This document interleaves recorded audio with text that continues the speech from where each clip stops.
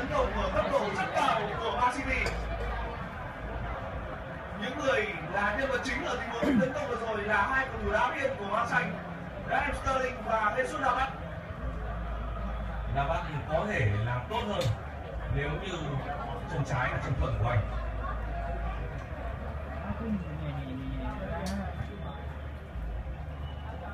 Aguero Silva Không chừng nhiều quá. Carrick Đấy luôn. khá nhịp Bác Martial hai người Pháp giành lại được nhau. Trong trận đấu năm nay Đối nhau thường xuyên ở trận này?